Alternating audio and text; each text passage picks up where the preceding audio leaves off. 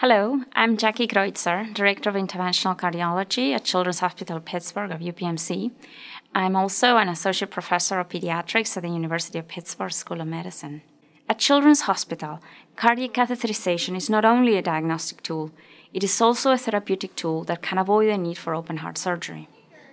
Each year, Children's Pediatric Cardiac Catheterization Lab conducts hundreds of catheterizations, about a third of them are interventional procedures, such as closing heart defects or opening valves or vessels.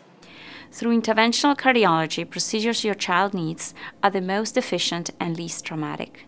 The goal, of course, is to provide the highest standard of care, resulting in optimal outcomes for our pediatric heart patients. Our research strives to find new and better techniques that we can perfect in the lab and then apply for patients. We also focus on safety and improve results of the procedures we do. Children's cardiologists have long pioneered pediatric cardiac catheterization procedures. Techniques developed here, such as atrial septoplasty to open a hole across the atrial septum, have evolved to today's standard procedures.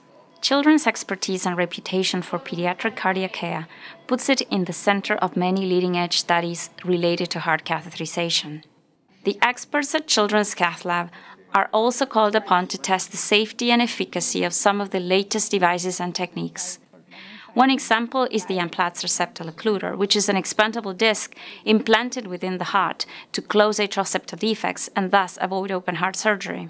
The use of the cutting balloon is being explored for different cases of pulmonary artery stenosis that do not respond to standard angioplasty. This promising technique provides a new option for promoting blood flow in these patients. Achieving success through research is further assured because of our outstanding facilities. The hospital recently moved to a new 10 acre campus that also includes a state of the art research building. The 300,000 square foot John G. Rangos Sr. Research Center. In the new hospital, we now have two wonderful modern cath labs, one of which is a hybrid suite where catheter procedures and surgical procedures can be done at the same time. Plus, we have a dedicated recovery area located where the operating rooms and cardiac ICU are, improving our service to children and their families.